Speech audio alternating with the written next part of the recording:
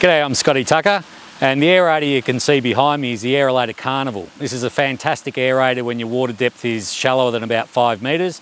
Anything deeper than five metres, you can still use these, but you want to probably supplement with a, subsurface aeration system or use a subsurface in combination with, uh, with a Carnival. This dam's about two and a half metres deep, so it's ideal.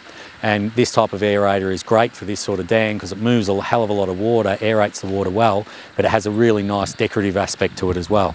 So you're getting the benefit of aeration and decoration. Okay, so what do you get in the kit? You get first of all the uh, the Carnival motor assembly. So you've got the, the motor down here and then you have the, the nozzle, there's a propeller inside here. And in this particular one, we're going to be um, possibly connecting it to lights. So uh, we're using an electrical quick disconnect, which connects in there from the very thick submersible cable. Uh, when we run the lights, we would normally have a transformer that would sit here and we run the cable into there and another cable goes into the motor.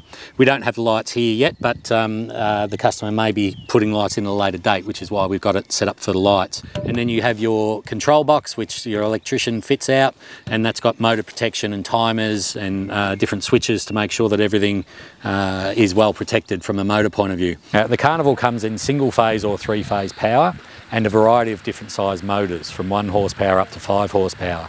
There's also three solar options available. So you can run it off the sun or some of the other solar hybrid motors are a combination of sunlight and also mains power, which means that when the sun goes down, you can run it off mains if you want to run it more 24-7. Uh, so these are, are, really great aerators where you want something aesthetic. They're a true aerating fountain. They run off a propeller which spins around like crazy and moves a hell of a lot of water. Uh, they're different than your decorative fountains. If you're looking at sort of three-tier fountains and all those more fancy sort of ones, then they're not truly aerating fountains. The true aerating fountains will throw the water up like an upside down cone because they're running off a propeller. So the Air-O-Lator Carnival, great for ornamental dams because they look fantastic.